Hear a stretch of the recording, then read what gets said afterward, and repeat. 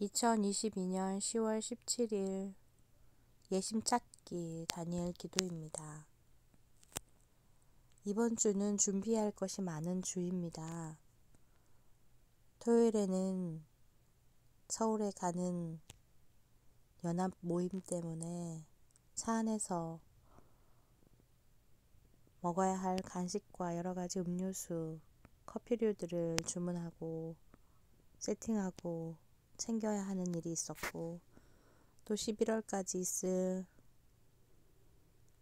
봉사에 필요한 강화물들을 주문하고 그것을 배송시키고 준비해야 할 것들이 많은 한 주였습니다.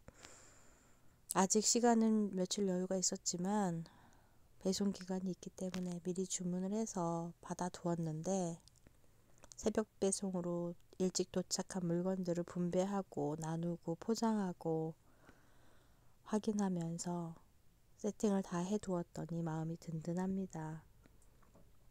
저는 무슨 일이 생기면 일이 닥쳤을 때 해내는 걸 좋아하고 먼저 준비하기보다는 하기 직전에 했을 때 효과가 좋고 후다닥 처리하는 것을 좋아하는 사람이었는데 이번 일은 왠지 늦장을 부려서는 안 될 것 같아 미리미리 준비를 해 두었습니다.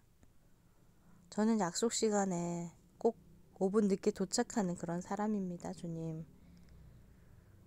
늦게 등장하는 것이 멋진 건 줄 알고 주목받고 싶었던 제 안에 얄팍한 욕심이 있었습니다. 그런데 이제는 먼저 도착했을 때 그 여유로움과 그 쫓기지 않는 마음이 좋다는 것을 알아가고 있습니다. 주님, 이제서야 저의 삶의 태도들을 바꿔가며 변화시키는 것들이 이제서야 제대로 자리, 제, 자리매김해 가는 것들도 있습니다.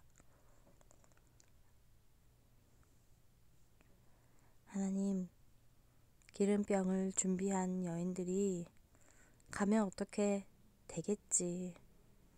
다 떨어지면 그때 가서 가져오지 뭐. 예전에 저와 같은 미련한 여자들이었습니다.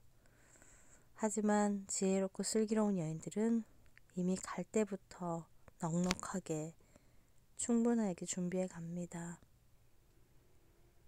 주님, 저는 이제 미련했던 여자에서 슬기로운 여자가 되어갈 것입니다. 하나님 제 안에 기름을 넉넉히 부어 주시옵소서. 주님이 받을 수 있도록 넉넉한 그릇이 되어갈 수 있었으면 좋겠습니다. 오늘 하루도 지켜주시고 보호해 주시고 함께하여 주셔서 감사합니다. 예수님의 이름으로 기도합니다. 아멘.